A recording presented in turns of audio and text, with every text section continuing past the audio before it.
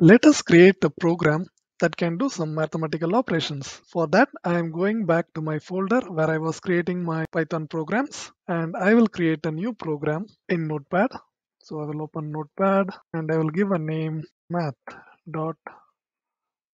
Python programs will have an extension of .py. So let me open this and I will make use of the same function which is print and as mentioned before if you are calling a function it needs to be followed by a parenthesis the last time we gave a string as an argument. The string was hello world. This time we are not going to be passing a string argument. Rather, we are going to pass a numeric argument. So let us try giving a number like 3. And let us see if the print function will be able to print a number. Let us save this and exit out of here. And let us execute this program, python math.py. It was able to print out the number 3. So now let's open Notepad again. And what if instead of just printing this number, I did some math operation like an addition. Let's try it. Python and pass the program name, which is math.py. And we've got our result, which is 7. Going back to our program, what if I did a subtraction? Say 3 minus 4. Again, execute the program. I got a minus 1. How about division? What if I gave 16 by 2? Let's execute the program. And if, if you are not very familiar with the command prompt, doing a up arrow or down arrow will bring back your previous commands that you typed. So I'm not retyping these things. I'm just using my up arrow to bring back my previous commands.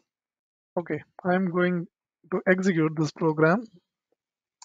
So we got 8.0, which is correct. So, so a program consumes the data, does some processing on it, and creates a more useful output. In our examples, the data for our programs were hard-coded directly on the programs. However, in real-world applications, the data comes from outside of the program. The data could come from an user input, or it could be coming from internet, or it could be coming from any external devices, or it could very well be a file on your system. The operations performed on a data is not a simple addition of two numbers. Data typically undergoes complex set of operations to produce the desired output. The output of the data processed in the first step is passed on to the second step and the output from the second step will be passed on to the third step and so on. It so appears that the program needs some placeholder to store these intermediate results from one step so that it can pass them on to the next step. To rerun our program with a different set of inputs, we need to avoid hard codings in the program. Again, we need a placeholder that can source the input data from the outside world and pass on to the operational steps. This placeholder is called a variable. A variable is just a name given to a piece of memory that can be used as a temporary placeholder for your data. Let us create a new program where we can make use of a variable. So let me name this program variable.py.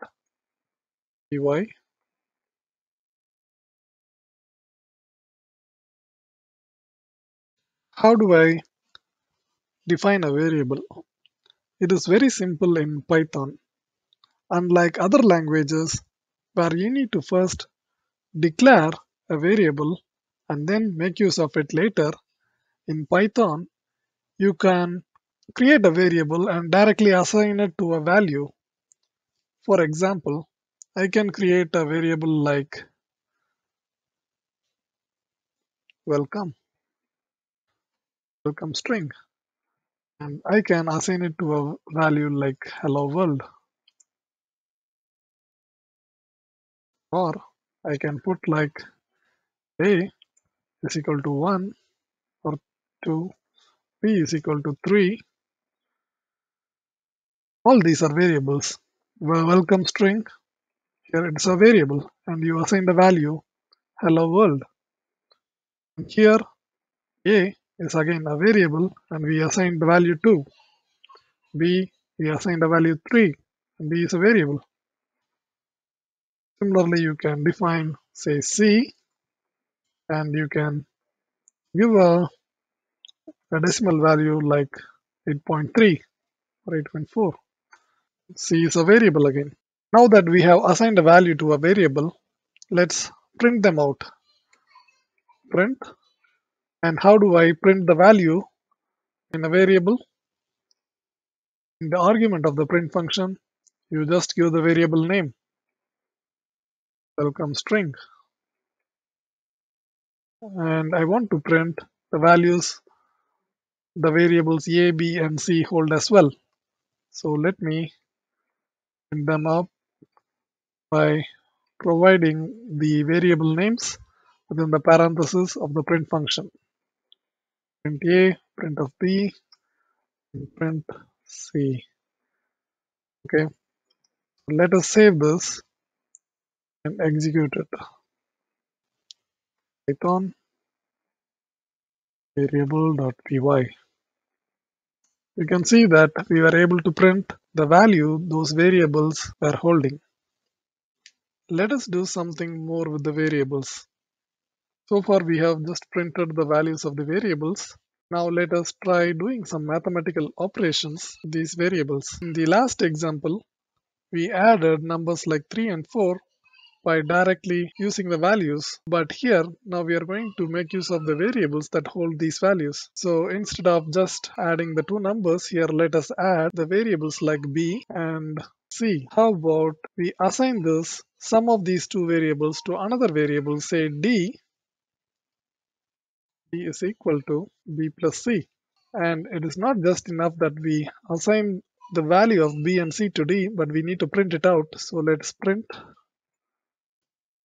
d. Okay, so let us see if this works. As you can see, we added the value 3, the, the variables that contain the value 3 and 8.4 and we got the result of D which is now 11.4 nothing but the sum of 8.4 and 3. Let's go back to our program. How about some string functions? So we know we have a variable called welcome string that holds the value hello world. How about we add one more variable name and let it have the value Shan. And now we want to concatenate these two strings hello world and Shan. How do we do that?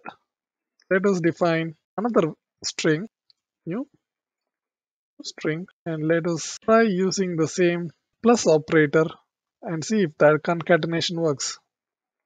Welcome string plus name and let us print this new string. Hope you are able to follow this. So let's execute this program.